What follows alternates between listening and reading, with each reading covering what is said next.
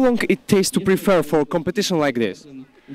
Well, we've been prepping since uh, last year, pretty much.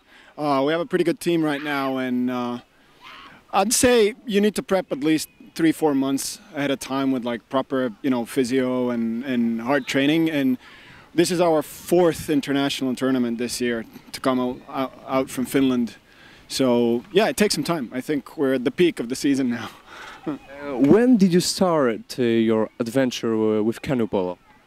Oh, me? Uh, yeah. Well, I started in '98 uh, or '96. I was a little kid, and I was wondering where everyone was because all my friends would go away, and then I'd, I'd find that they all play this stupid game called canoe polo. So I had to play it too, and uh, yeah, I had a small gap in the middle, like eight years. But yeah, I've been playing pretty much for I don't know 20 years now. Uh, this is your first time in Poland? Uh, not really. First time playing pol- uh, polo in a Polish tournament, but we've been to the Worlds in Poznan, into the Europeans in Poznan as well. So, been a couple of times in Poland to play. Uh, Poznan is very beautiful city. Yeah, it's it's a great. The whole venue is really spectacular, and there's the big tribunes, and you you get this feeling that canoe polo is a huge sport, and it really needs that push to sort of grow and become a stronger sport. Te zawody to niewątpliwie najważniejsze, jeżeli chodzi o status w Polsce. Wczoraj odbywały się eliminacje, dzisiaj występują e, e, finały. Niech pan opowie, jak to przebiegało wczoraj. Tak, Puchar Polski jest to, jeżeli chodzi o rozgrywki w Polsce, jednym z podstawowych elementów, y, które, które w Polsce się odbywają. Składa się z trzech edycji, suma, suma tych edycji daje zwycięzcę. Y, Natomiast we wczorajszym dniu odbywały się eliminacje, były roz- rozstawione drużyny do odpowiednich grup. Y, Graliśmy o to, aby można zagrać dzisiaj w półfinałach i w finałach. E, Niech mi pan powie, jakie drużyny możemy dzisiaj zobaczyć, skąd one się zebrały? Z całej Polski, jeżeli tak mówi Puchar, tak? Tak, dzisiaj, dzisiaj jeżeli chodzi o drużyny polskie, to jest tutaj czołówka przygotowująca się, są zawodnicy przygotowujący się do Mistrzostw Świata. W przyszłym tygodniu, 29 lipca, wylatujemy do Kanady na Mistrzostwa Świata, więc zawodnicy kadry tutaj mają ostatnie przetarcie. E, W tamtym roku mieliśmy drużynę z Nowej, z Nowej Zelandii, w tym roku mamy drużynę z Finlandii. E, Myślę, że co roku ta międzynarodowa stawka będzie się zwiększała. A jak z organizacją e, zawodów? Czy miasto współpracowało i pomagało przy organizacji e, zawodów? Tak, tutaj y, jak widzimy z tyłu obieg wypiękniał nawet od tamtego roku. Mamy już drugie boisko, to jest w pełni nowoczesne boisko, w pełni przygotowane do wymogów gry. W niedługim czasie postawimy trzecie boisko, a więc będzie to już obieg przygotowany do tego, żeby starać się o Puchar Europy czy Klubowe Mistrzostwa Europy. I tutaj wielkie podziękowania zarówno dla gminy, jak i dla starostwa. E, Na plakatach widać, widnieje napis, że są też e, zawody juniorów, tak? Niech pan może przybliży to. Tak, y, Puchar Polski jest odbywany w czterech kategoriach. Kategoria dzieci, nazywamy to Panda Cup, młodzicy i dwie kategorie, jedna juniorska, druga seniorska, pierwsza najsilniejsza dywizja. Czy pan też wystawiał swoją drużynę? Tak, w każdej kategorii mamy, w każdej dywizji mamy swoich przedstawicieli. Y, Aktualnie na boisku MUSW Choszczno B walczy z Kwisą Leśną. Następny półfinał MUSW Choszczno A, przepraszam, z setem. Następny półfinał MUSW Choszczno A, set B, także y, finał w y, trzeciej dywizji. Dziewczyny w chwili obecnej zajęły miejsce już trzecie w, w drugiej dywizji, no i finał w drugiej dywizji, także jest dobrze.